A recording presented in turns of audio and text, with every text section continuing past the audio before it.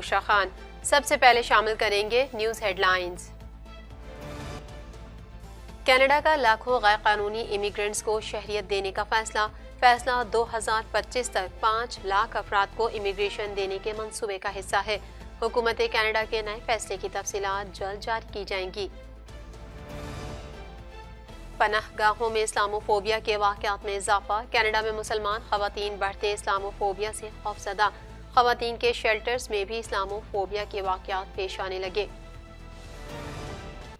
लाखों अमरीकियों के बेरोजगार होने का खदशा। मुल्क को बेरोजगारी के अलावा और भी कई मसाइल का सामना करना पड़ सकता है। मुल्क में महँगाई की शरह 2024 तक दो अशारिया एक फ़ीसद रहने की तो है। हेडलाइंस आपने जानी और अब शामिल करते हैं खबरों की तफसील। Laundry is no longer a hassle. Just toss an EcoFresh detergent strip into the washer for a convenient, eco-friendly yet powerful wash. Hypoallergenic, safe for sensitive skin. Say no to bulky plastic jugs and bottles. No more measuring and spilling. Just one strip for a load. Simple and squeaky clean. Plastic free, biodegradable packaging. Organic. Paraben, phosphate, dioxane, and cruelty free. Order now at www.ecofreshcanada.ca or at Amazon. क्या आप Canada की immigration और citizenship लेना चाहते हैं या Canada में study करना चाहते हैं लाइटो इमिग्रेशन न सिर्फ़ आपको कनाडा की इमिग्रेशन और सिटीजनशिप दिलवाने में आपकी मदद कर सकते हैं बल्कि आपको कनाडा में सेटल और इन्वेस्ट करने के रास्ते भी सुझा सकते हैं Lito Immigration is a regulated Canadian immigration consultant. We deal in study, work, PNP, and PR visas. Get startup visas, work permit, and business visas. We rise by lifting others. Lito Immigration.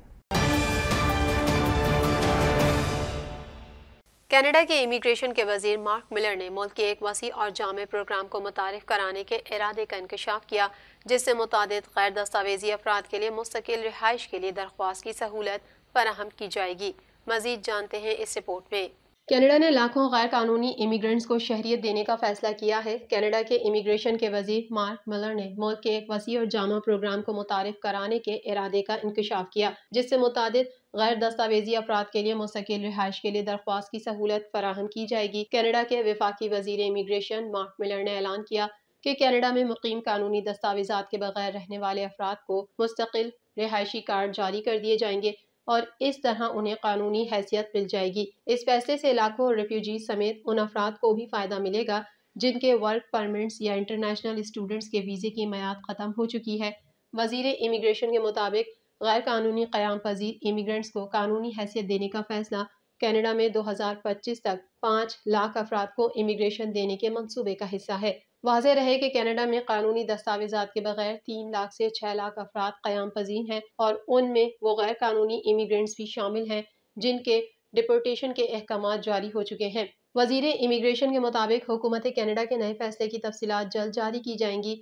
Mark Miller का कहना है कि ये इकदाम Canada के immigration के अहदाफ के मुताबिक है, जो कि 2025 तक सालाना पाँच लाख तारकिन वतन को खुश आमदीद कहने के लिए तैयार है, जिससे आबादी में इजाफा हुआ है, जिसने मुल्क की इकतदी खुशहाली में नुमाया किरदार अदा किया है। मार्क विलर ने वाजे किया कि ये प्रोग्राम तमाम गैर दस्तावेजी अफराद के लिए खुला नहीं होगा, ख़ास तौर पर वो लोग जो हाल ही में मुल्क में दाखिल हुए हैं।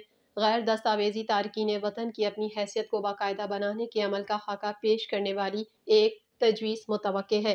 कि आइंदा मौसम बहार में काबीना के सामने पेश की जाएगी? मुजवजा प्रोग्राम में न सिर्फ़ वो लोग शामिल होंगे जो मुनासिब दस्तावेजात के बगैर मुल्क में दाखिल हुए थे, बल्कि वो लोग भी शामिल होंगे जो इब्तदाई तौर पर आर्जी, कारकुनों या बैन अवी तलबा के तौर पर कानूनी तौर पर पहुँचे थे और अपने वीज़ों की मैयाद ख़त्म होने के बाद रहने का इंतखब किया था। ये ऐलान हाउसिंग चैलेंजेस और महँगाई की बुलंद शरह के पस मंज़र में सामने आया है।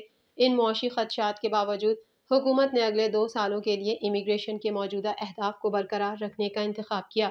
दो हज़ार छब्बीस से शुरू होकर इमिग्रेशन में बतदरीज इजाफे को रोक दिया जाएगा, जिसके साथ कनाडा का हदफ 2023 में चार लाख पैंसठ हज़ार नए बाशिंदों तक 2024 में चार लाख पिचासी हज़ार तक पहुँचने का इंकशाफ है और 2025 में पाँच लाख के हदफ के संग मील को बरकरार रखा जाएगा। मशरक वस्ती में, जंग के बाद कनाडा में भी इस्लामोफोबिया के वाकत में इजाफा हुआ है। मजीद अहवाल इस रिपोर्ट में। कनाडा में मुसलमान खातन को शेल्टर्स में इस्लामोफोबिया के बढ़ते हुए वाकत का सामना है। मशरक वस्ती में, जंग के बाद कनाडा में भी इस्लामोफोबिया के वाकत में इजाफा हुआ है। यहाँ तक कि उन मकाम पर भी जो महफूज जगहों के लिए बनाए गए हैं। शेल्टर्स अब मुसलमानों के खिलाफ नफरत में इजाफे की इतला दे रहे हैं, जिसमें एक का कहना है कि जो खातन घर में खुद को महफूज महसूस नहीं करती हैं। वो अब बाहर जाने के लिए काफ़ी महफूज महसूस नहीं कर रही हैं। मीडिया रिपोर्ट के मुताबिक एक खातून, जिनकी शनाख्त हिफाजती खदशात की वजह से महफूज की जा रही है, बताती हैं कि इसे घर में मुख्तलिफ़ किस्म की घरेलू ज्यादतियों का सामना करना पड़ा और जब वो बाहर निकलने का रास्ता तलाश कर रही थी तो उन्हें मरकजी धारे की पनाह गाहों में इस्लामोफोबिया के एक नए खौफ का सामना करना पड़ा। उन्होंने कहा यह यकीनी तौर पर खातन को मरकजी धारे के पनागाह के बारे में दो बार सोचने पर मजबूर करता है, क्योंकि हम उस तक पहुँचने से डर सकते हैं, क्योंकि हमें गलत समझा जा सकता है। नैसा होम्स एक खातन की पनागाह है जो पूरे कनाडा में मुस्लिम खातन को फराहम करती है। इसे आठ साल कबल सकाफती तौर पर हसास समाजी खदमात पेश करने के लिए बनाया गया था। पनागाह के अहदेदारों का कहना है कि उन्होंने इस्लामोफोबिया के वाकत में इजाफा रिकॉर्ड किया है। दुनिया की सबसे बड़ी अमरीकी मीशत को साल 2023 में कई बड़े चैलेंजेस का सामना है और नए साल में भी मुश्किल कम होती नज़र नहीं आ रही। मजीद तफसीत इस रिपोर्ट में। दुनिया की सबसे बड़ी अमरीकी मीशत को साल 2023 में कई बड़े चैलेंजेस का सामना है और नए साल में भी मुश्किल कम होती नज़र नहीं आ रही। अमरीकी मीशत की तस्वीर पेश करते हुए रिपोर्ट में दावा किया गया है कि मुल्क को बेरोज़गारी के अलावा और भी कई मसाइल का सामना करना पड़ सकता है।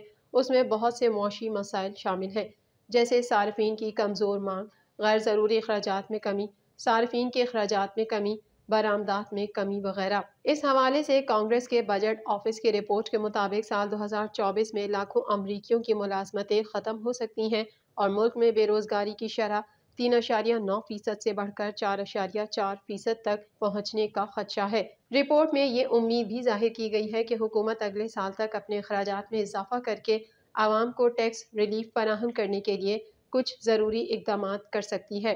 सी बी ओ की रिपोर्ट के मुताबिक दिसंबर 2023 में भी अमरीकी मार्केट में मुलाजमतों की कमी है और माह के पहले हफ़्ते में दो लाख से ज़्यादा अफराद ने बेरोजगारी अलाउंस के लिए दरख्वास्तें दी हैं। इसके साथ ही मुल्क में बेरोजगारी की शरह तीन अशारिया नौ फ़ीसद से बढ़कर चार अशारिया एक फ़ीसद तक बताई जाती है, लेकिन सी बी ओ की रिपोर्ट के मुताबिक ये तादाद कम है।